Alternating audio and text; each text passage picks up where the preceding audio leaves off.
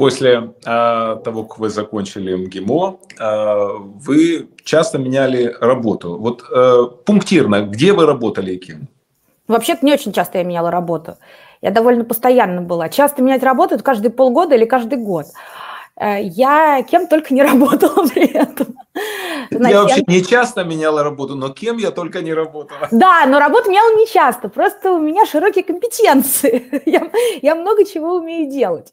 Вообще моя трудовая деятельность э, началась в 15 лет на радиостанции «Эхо Москвы». Я была там инфореферентом, то есть человеком, который помогал новостникам готовить новости. А, монтировать сюжеты, тогда еще были все эти пленочки, которые нужно было резать, но потом уже был компьютерный монтаж, брать интервью и так далее. И история, а почему я там, там оказалась? Дело в том, что я, как вам, я вам уже совершенно откровенно сказала, я не очень-то любила учиться, в силу простого обстоятельства, что я не очень понимала, зачем мне это надо. И мне было не очень интересно. Какие-то предметы интересны, какие-то неинтересны. И я вдруг с отцом пришла на «Эхо Москвы», и Отец говорит, ну возьми мою дочь тут на стажировку. Я, видимо, у него была такая идея, что не хочешь учиться, иди работай. И я работала несколько месяцев, то есть после учебы я шла на работу, полную смену, до 12 ночи. Вот. Э, так я продержалась там несколько месяцев. Было очень, очень тяжело было работать на «Эхо Москвы», очень тяжело. А, это была настоящая мясорубка. После этого а, я все-таки, по-моему, решила, что может лучше поучиться. А, начала активно учиться и готовиться к поступлению в американский вуз. А, а потом пропускаем ГИМО, и я начала работать в такой финансовой компании, которая называлась Mercury Capital Trust. Дело в том, что я довольно рано вышла замуж первый раз, и мой муж основал инвестиционную компанию. Рано это во сколько? А, так, в 2007 году, значит, в 23 года. Ну, это не рано. Я думал... Ну, я уже развелась, и не один раз.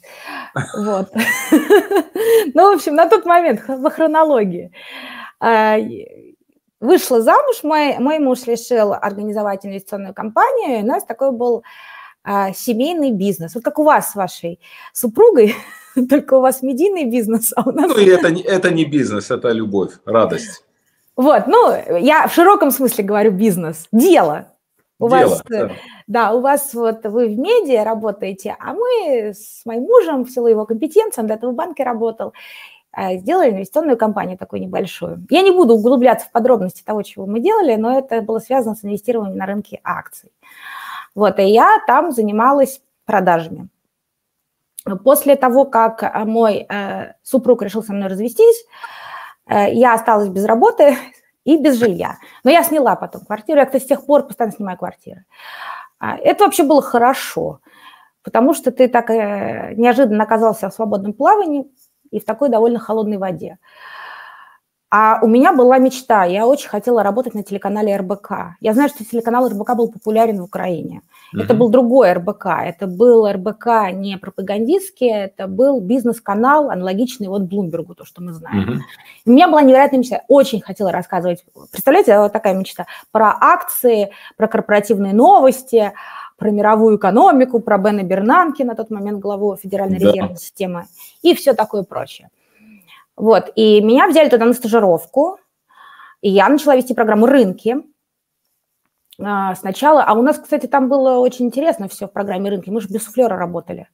То есть надо было в целом а, хорошо разбираться. Мы сами готовили эфиры, и надо было хорошо разбираться, в общем, в теме, о которой ты говоришь. У меня на тот момент было несколько уже сертификатов финансовых, тоже не буду углубляться, а, каких именно. Вот, и вот так я начала свою карьеру. Я не могу сказать, что это журналистика. Ну, это, такое, это такая финансовая аналитика телевизионная для большого круга людей. А, я вела много там программ, а, уже впоследствии рынки «Глобальный взгляд», рынки. А потом мы с отцом, кстати, придумали, это, наверное, может быть интересно вашим телезрителям, такую забавную программу, которая имела коммерческий успех, потому что РБК продала эту программу инвестиционной компании «Финам», она называлась «Дневник спекулянта», где мы с Даной Борисовой, если вы такую еще помните, кто же не помнит Дану Борисову? Ну, в общем, мы с Даной Борисовой соревновались на рынке Форекс. Кстати, сразу говорю, на Форексе не торгуйте. это, это, это безумие. Тем это более хуже биткоина. ну, неважно. Это была такая рекламная программа. Это было смешно, и она есть, по-моему, до сих пор в Ютьюбе. Э, вот. А, ну и серьезные вела программы, в основном серьезные, а вечером вот дневник спекулянта. Что еще? Ну, вы будете смеяться, в январе 2014 года я даже брала интервью Дмитрия Медведева, причем в прямом эфире. Правда? И такое было. То есть до аннексии Крыма. Я сделала довольно неплохую карьеру на РБК, ко мне очень хорошо относились, мне действительно много доверяли разных программ, а, и мне все это очень нравилось.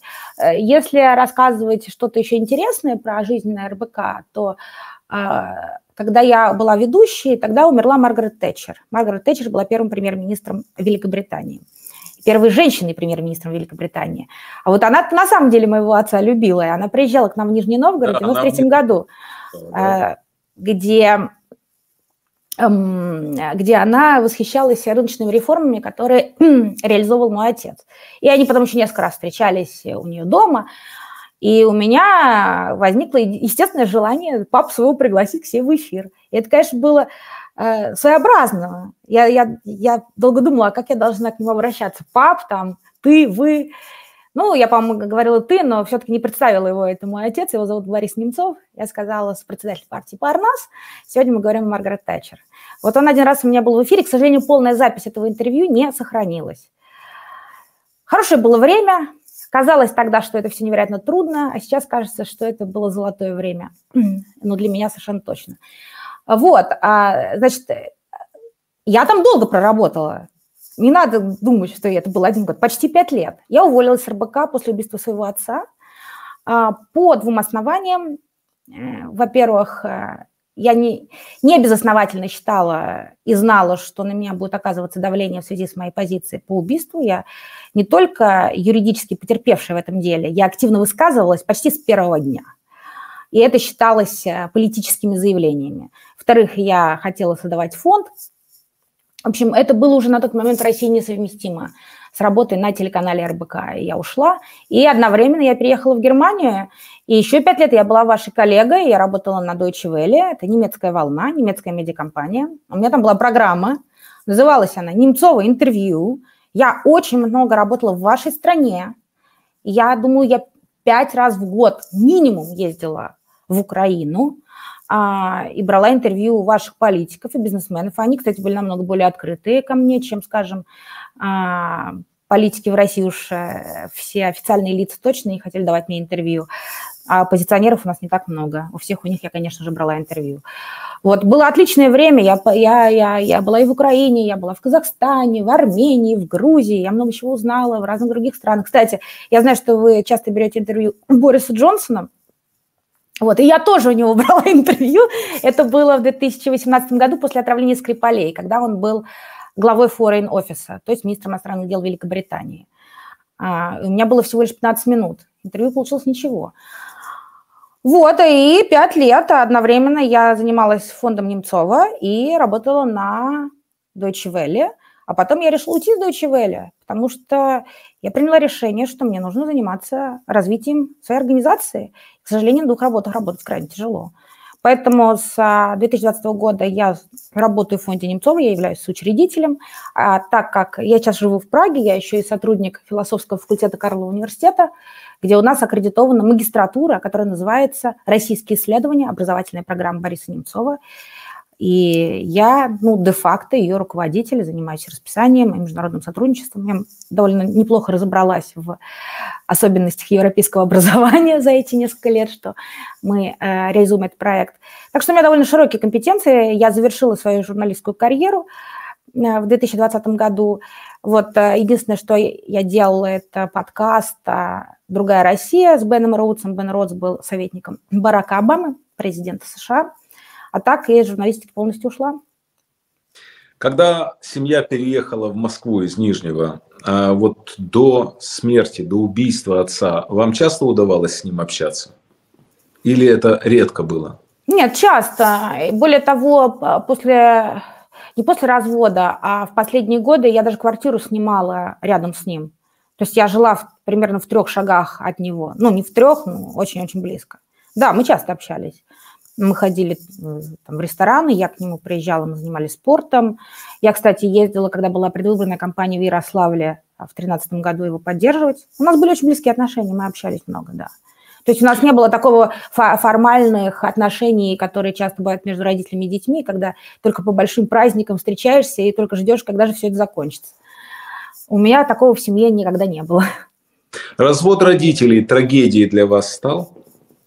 Дело в том, что развод родителей произошел, если мне память не изменяет, в 2010 году, в 2010 году.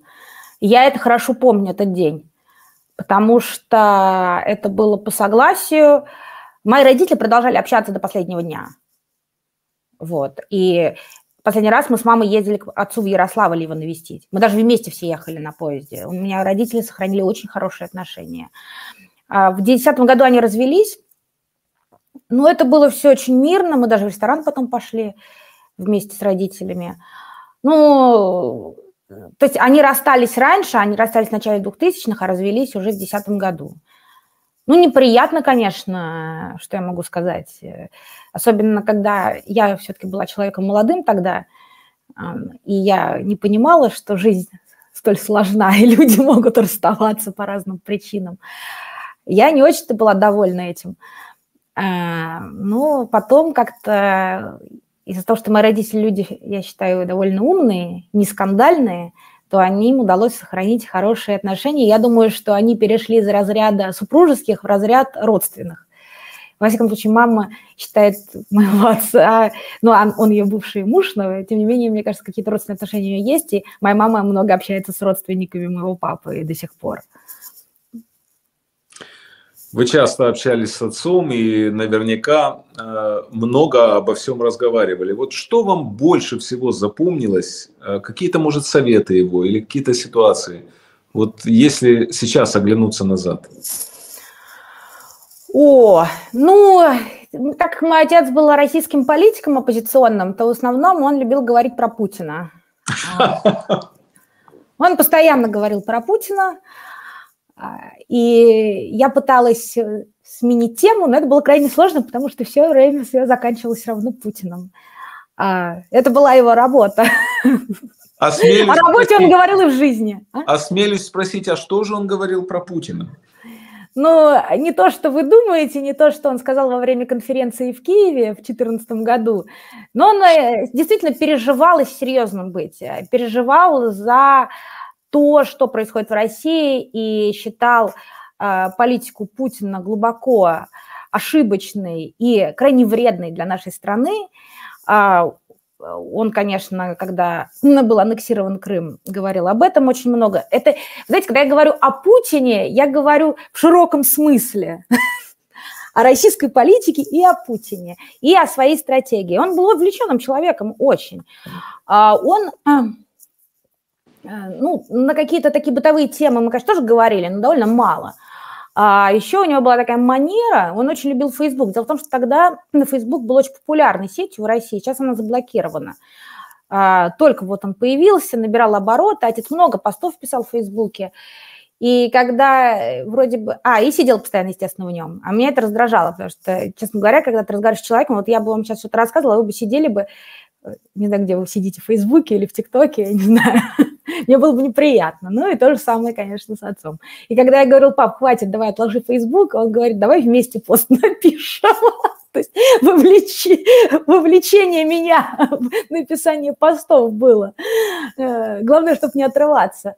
А каких-то... У нас не было таких, знаете, душераздирающих бесед, э, душеспасительных отца и дочери, где отец там наставляет дочь, говорит, вот так делай, вот так не делай. Я думаю, что отец сам прекрасно он не считал себя истиной в последней инстанции, кстати. А, и поэтому в таком покровительственном духе со мной не разговаривал. Ну, мне очень нравится одна вещь, которую я запомнила. Это такая формула. Отец очень любил формулами разными изъясняться. И вот э, то, что меня запомнилось и вдохновило, это звучит следующим образом. А, если человек способный, но ленивый, он не способный. А если человек не очень способный, но не ленивый, он способный. Ну, класс. И, кстати, это правда. Конечно. Потому что действительно, если ты много работаешь, и у тебя есть какие-то среднего уровня способности, ты можешь очень многого добиться. И вот это меня очень вдохновляло.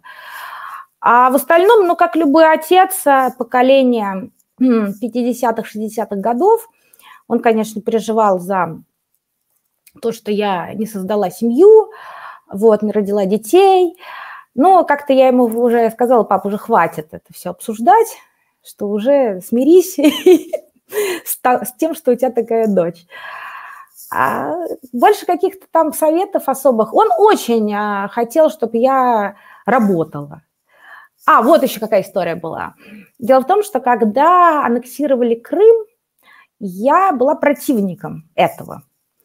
А в России на тот момент, а, и это в буквальном смысле, 90%, если не больше, приветствовали аннексию Крыма. И это касалось тоже моей работы. А мы еще были РБК информационным спонсором Паралимпийских игр. Поэтому мы как-то так без зуба все это освещали. А я довольно открыто говорила, что я, в общем, против этого выступаю. А аннексии, там никакие там не повстанцы в Донбассе воюют, а регулярная российская армия, все прочее. И э, я с отцом это... Мне делали выговоры. И более того, мне даже в студию звонили. У нас, у же прямой эфир был, и можно было позвонить в студию. Даже на, не, некоторые выпуски были открыты для звонков. Люди звонили, что там наезжали на меня. А, вот. И я отцу говорю, пап, слушай, а, ну, как бы ситуация накаляется, а, на меня оказывается хоть и небольшое, но все равно давление, а он говорит, ну, пока ты работаешь, и пока все-таки ты можешь говорить то, что ты считаешь нужным, продолжай работать. Уволят, так уволят. Но главное, не, не надо подстраиваться под а, там, генеральную линию. Я не могу сказать, что РБК было таким а, супер а, а, антиукраинским каналом, такого не было. Но он был дико беззубым. А, а вот что еще произошло тогда, когда отец участвовал в моей карьере. Вот «Дневник спекулянта» – это была развлекательная программа, а была еще программа такая «Обозреватель» на РБК, как бы аналитическая да и правда аналитическая. Ее вел Игорь Виттель. Вы, может, его знаете. Ну, в общем, неважно, такой был ведущий. И он то ли в отпуске был. В общем, не было ведущего, я была на замене. И мы обсуждали Минские соглашения. Если я не ошибаюсь, это был сентябрь 2014 года. И я отцу звоню, слушай, говорю, ну я, в общем, хотелось бы посоветоваться, такая тема важная – он говорит, ты пригласи не этих экспертов, а тех людей, которые реально принимают решения. И пусть они отвечают. Это действительно очень правильно, угу. потому что с экспертами говорить бесполезно. Ну, можно, но лучше говорить с конкретно людьми, которые принимают решения, потому что они определяют политику. И тогда у нас была такая история. Мы пригласили а, тогда одного сепаратиста из Донбасса. Я, честно говоря, забыла, как его зовут, но вы можете мне напомнить. Его уже убили, по-моему, даже. Вот, у нас был по Захарченко? Захарченко? Не, не Захарченко, не Захарченко. Забыла, как его зовут. Угу. А, пригласили, вот этого я помню, Франца Клинцевича. Франц Клинцевич был... Десантник Совершенно верно. Он был тогда главой комитета по обороне Госдумы. Да, да. Они к нам ходили, что это, сепаратисты с Донбасса, что Клинцевич, они, они ходили к нам спокойно, совершенно не ожидали никаких жестких вопросов, все, все отлично. Я думаю, черт, ничего себе, согласились.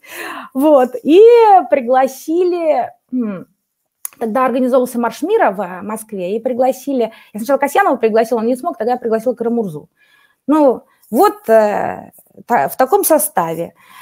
И я стала задавать вопросы неприятные. А, там, они же тогда утверждали, что регулярная российская армия не воюет на территории Донбасса. А я ему говорю, а что это они... И он говорит, вот они, может быть, в отпуск поехали туда. Да я говорю, да, взяли танки и поехали в отпуск. Вот так я с ним разговаривала. Что-то, говорю, мне, как, меня это как не убеждает. Программа была хорошая. Я помню, тогда было много комментариев, что наконец-то на РБК стали правду говорить.